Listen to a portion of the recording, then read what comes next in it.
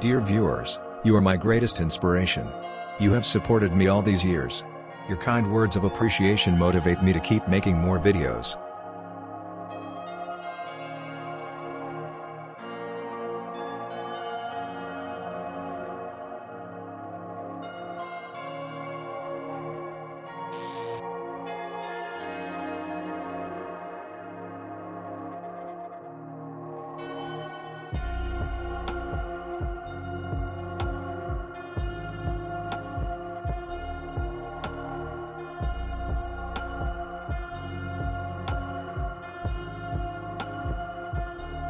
Welcome to my quantum physics video lesson series. This video series is a full package or information bank. The viewers are advised, and encouraged, to watch each and every video lesson in this video series, in order to perceive the background concept. These seven distinct video lesson episodes are a thought-provoking journey through the subatomic world. This particular video here, offers an exclusive lecture on the key subtopic double slit experiment.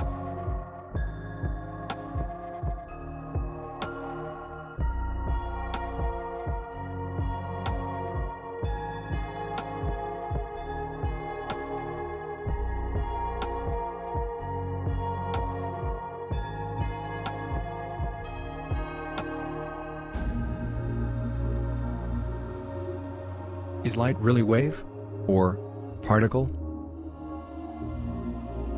Have you often pondered over how quantum physics is rather philosophy than mathematical derivation?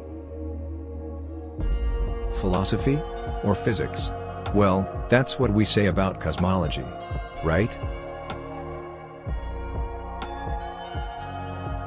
The esoteric dispute over wave-particle duality. When and how did the shift in balance of conception ensue? Ancient views about the nature of light. Wave nature versus particle nature of light, and electromagnetic wave, is an often cited century-old esoteric debate. Isaac Newton's corpuscular view continued to receive unanimous support, as the community of erudite scholars, and academicians back then, either surmised, or conceded, as revealed in the publication excerpts.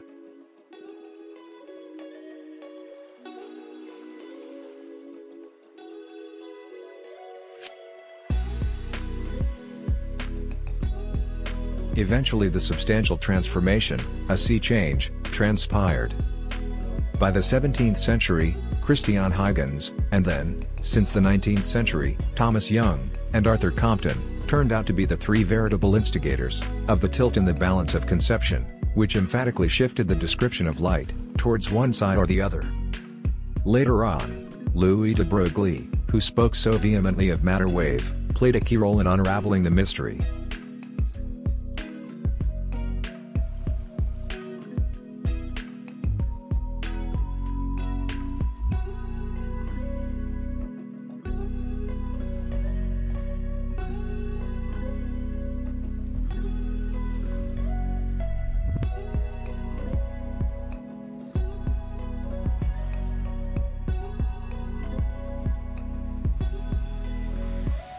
Sir Isaac Newton, the most enigmatic supreme genius in the history of science, is highly regarded for his laws of motion, gravitation, and nature of white light.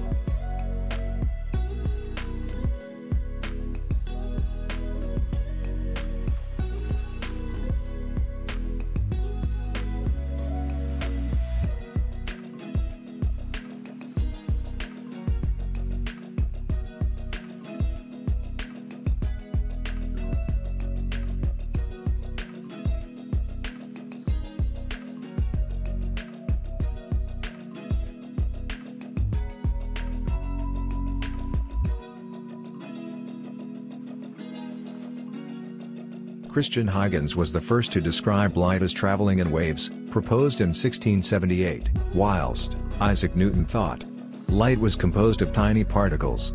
Christian Huygens brought about an entire new perspective of optics.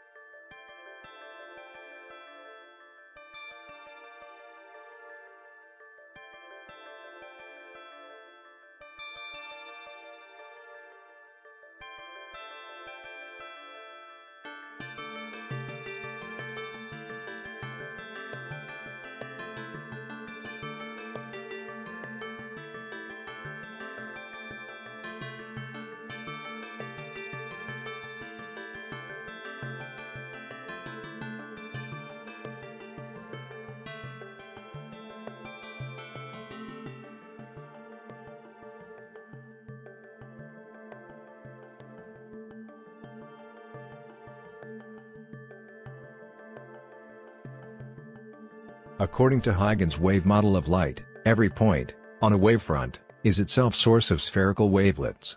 The sum of those spherical wavelets forms the wavefront.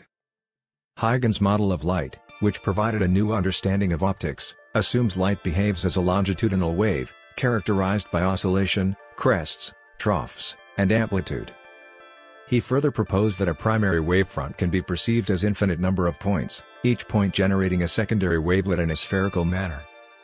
The interference of these secondary wavelets creates wavefronts of varying shapes and direction. Back then, this model was able to explain most of the properties of light, including refraction, reflection, as well as diffraction.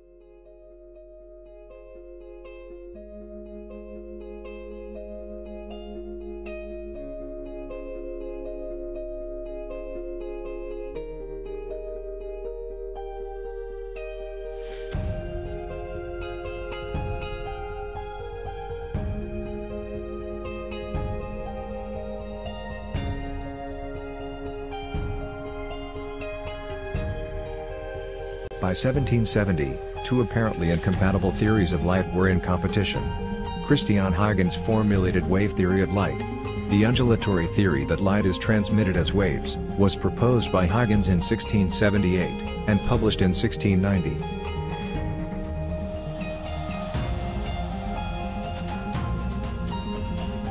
Newton versus Huygens Newton was interested in light, from very early on in his career.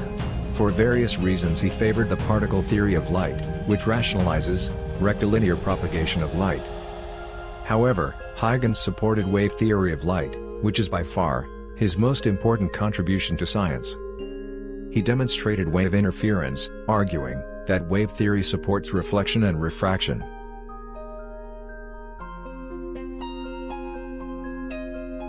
Now, hold on a minute, buckle up. Ready to hear something rather dramatic? Even though, Newton's corpuscular model of light, failed to account for color, polarization, interference, and diffraction of light, his theory generally prevailed.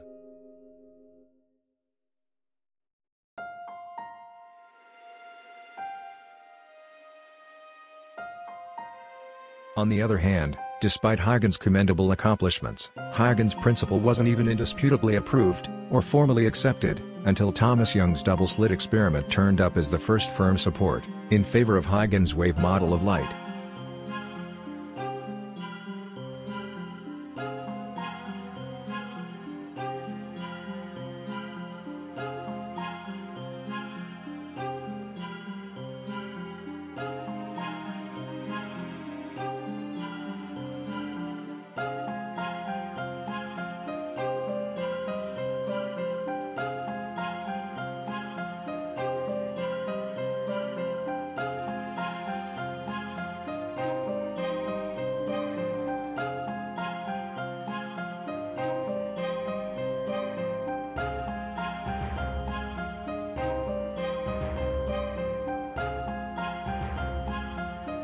Young, first let the sunlight rays pass through a single slit, on a screen, to produce coherent light.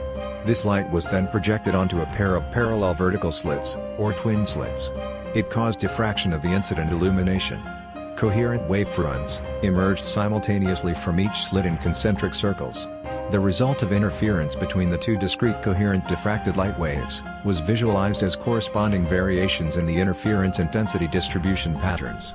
Young's experiment was based on the hypothesis that if light were wave-like in nature, then it should behave in a manner similar to ripples on water. He was the one who first came up with the term interference fringes.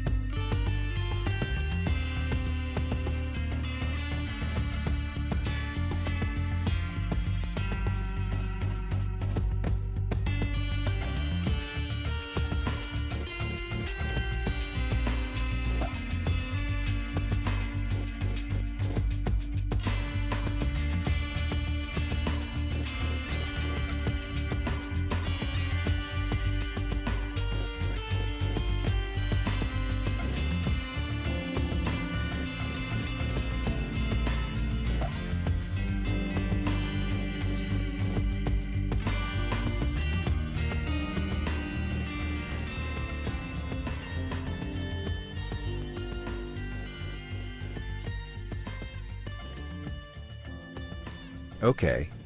What if we are throwing grains of sand, or salt, through the double slit? The grains will pile up in two separate clusters, right in front of each slit. Like this, right?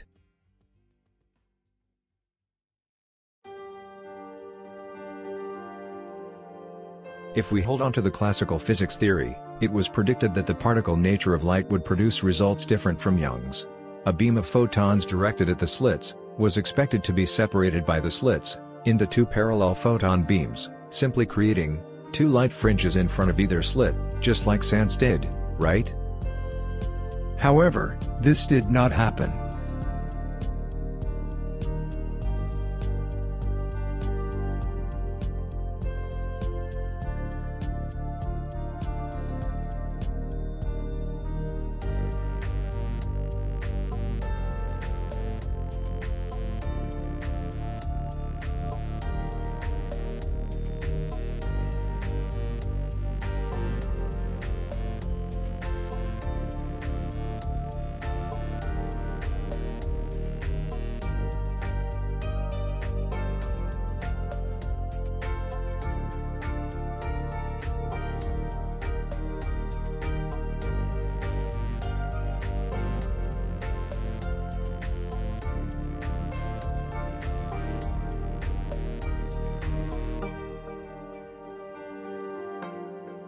In 1909, Geoffrey Taylor conducted an experiment, in which he showed, that even the weakest light source, such as equivalent to a candle, burning a mile away, is still capable of producing interference fringes.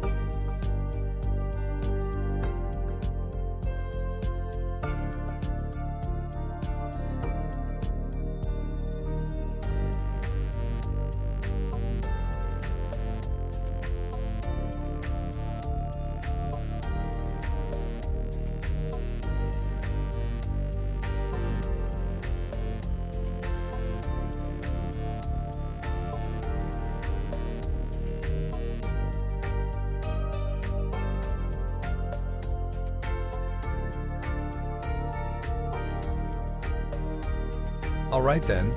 Here we come up with a whole bunch of questions.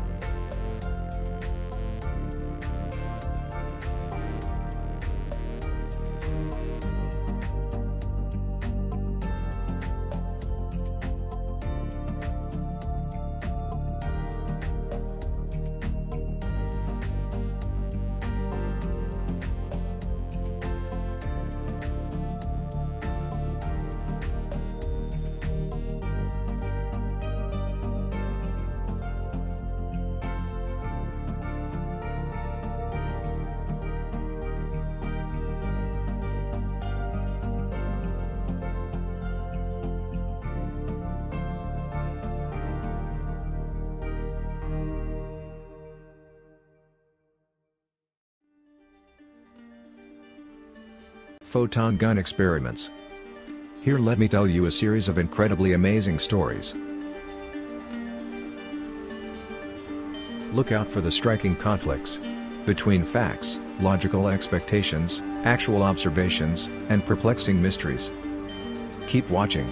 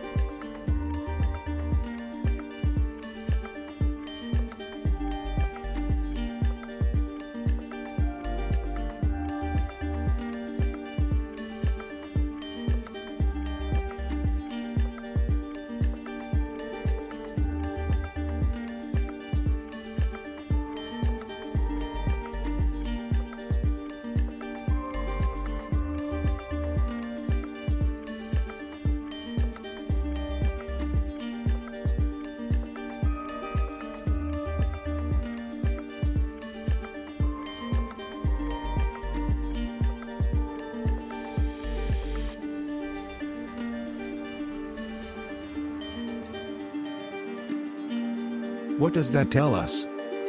What have we learned from this?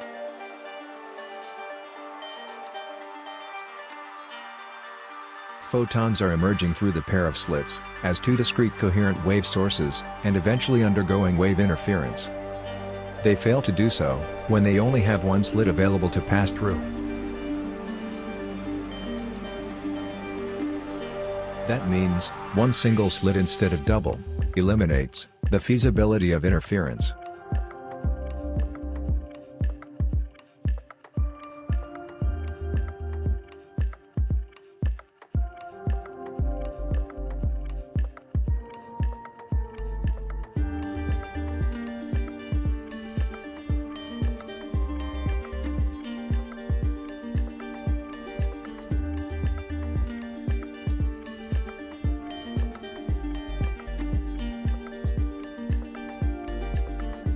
With a purpose to establish true wave nature of photons, we need to explore how else one can prevent the interference.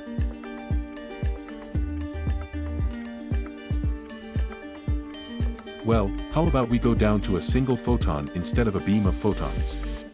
No wonder, a stream of photons generate interference, but a single photon alone wouldn't be able to do so, right? Let's find out.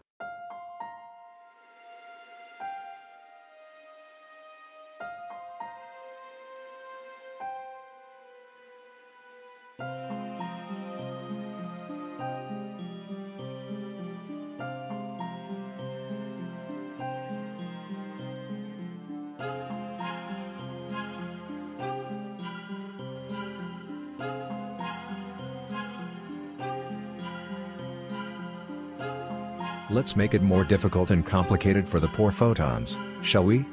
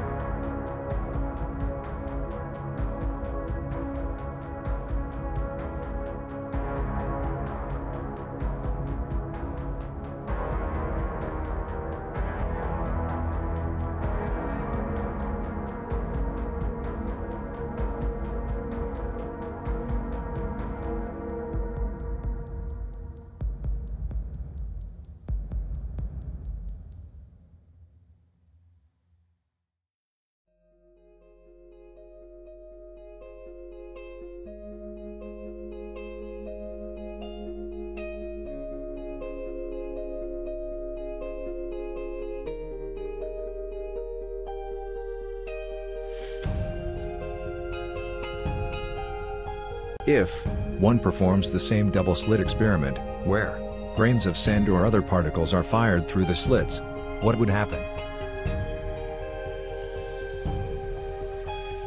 Each particle would go through one or the other slit, and would end up with a very different pattern on the sensor screen, compared to the interference pattern, seen produced from waves.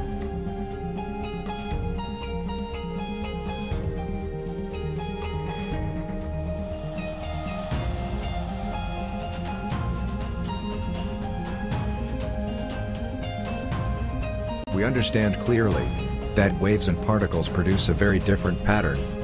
So it should be easy to distinguish between the two, right? Well, this is where the double slit experiment gets a bit mysterious. When we perform the same experiment with photons, which are still particles, but tiny particles of light.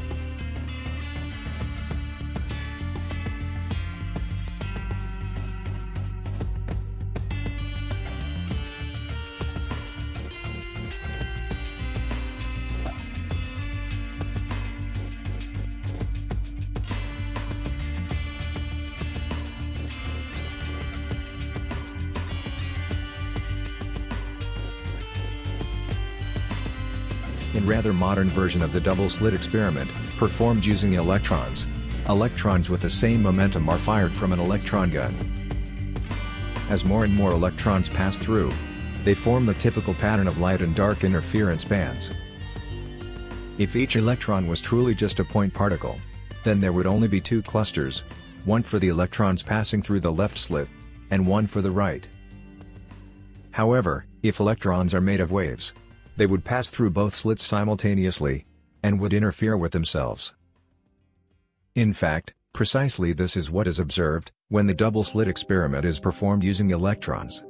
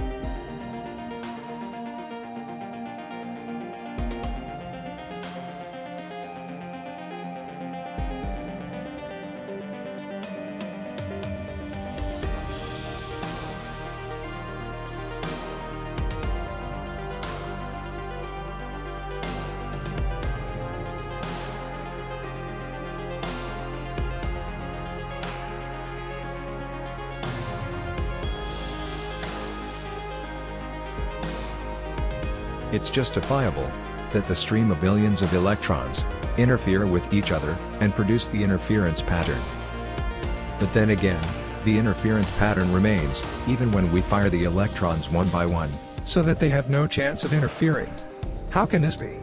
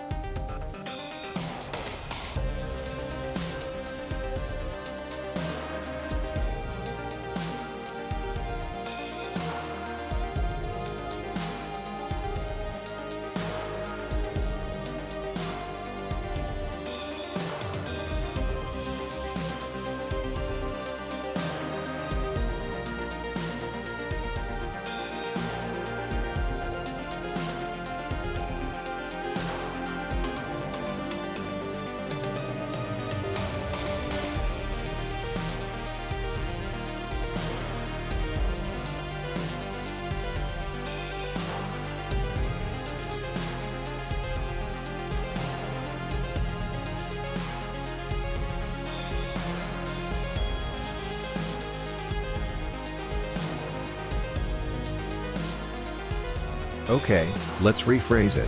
When electrons are being spied on, they act in a way so they don't get caught in the act of performing their quantum nature.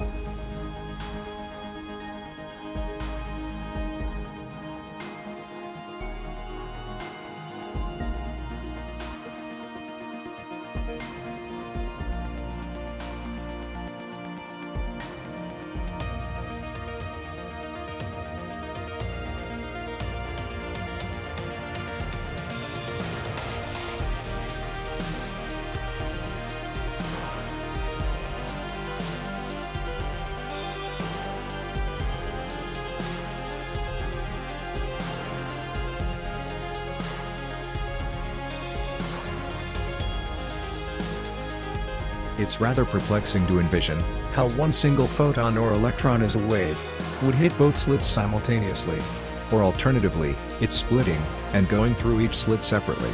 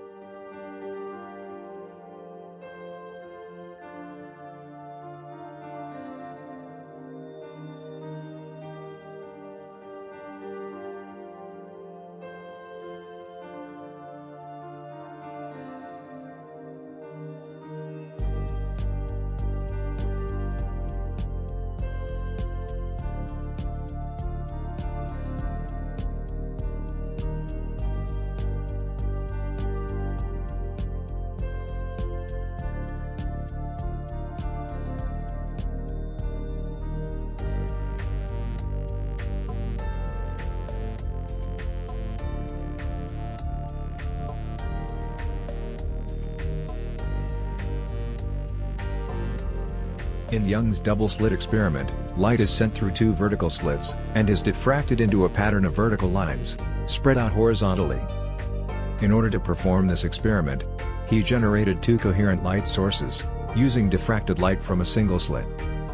Please note, that without diffraction and interference, the light would simply make two illuminated lines on the screen. Which is not the case.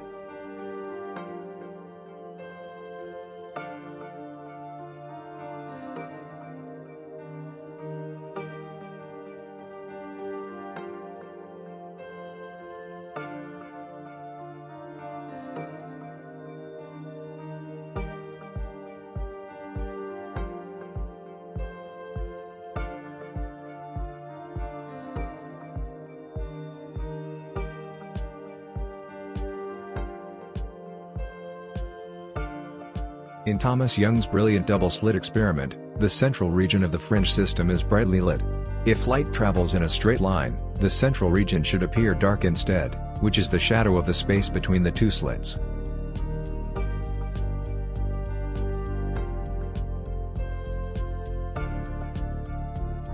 Which is not the case.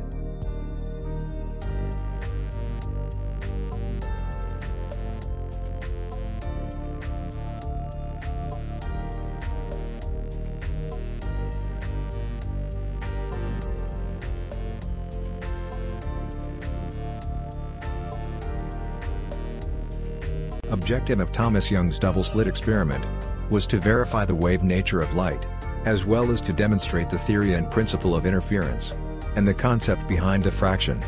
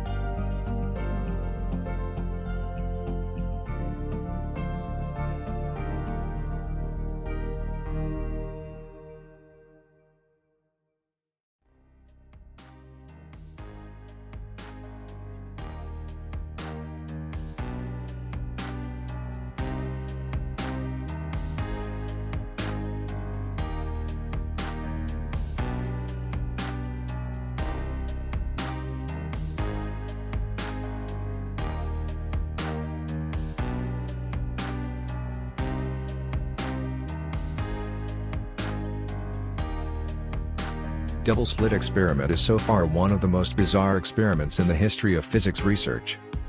It also stands out as the heart and soul of quantum mechanics.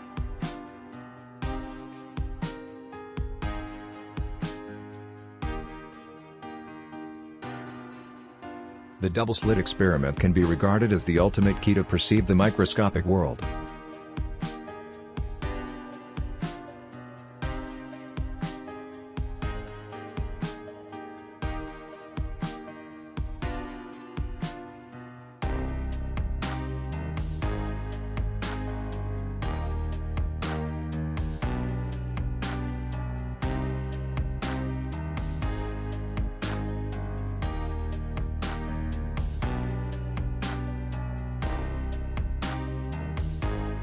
Ready lecture notes, and study materials, are available on request.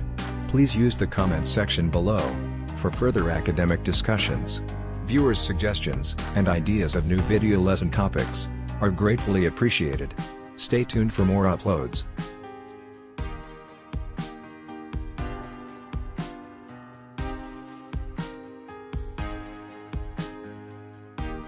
Please remember to like, subscribe, share,